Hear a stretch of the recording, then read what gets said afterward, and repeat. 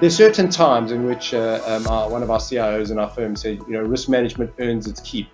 Um, and, and this current period of market volatility is characteristic of one of those times where we really have to be alert and we have to be thinking.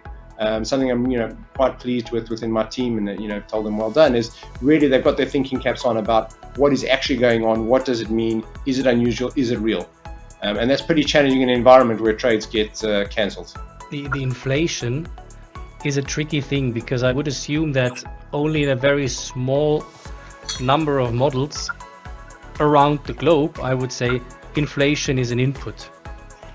Just because it didn't matter in the last 20 years where all of the modeling evolved.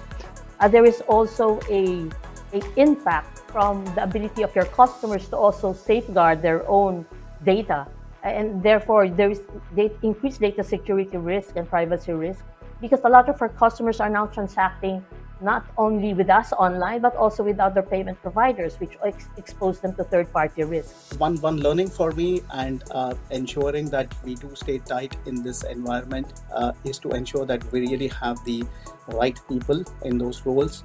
Uh, having the right processes, uh, the, uh, the speed with which we react, the MI that we have, the information that we have to act quickly becomes extremely critical, and constantly staying on your portfolio is the only way out.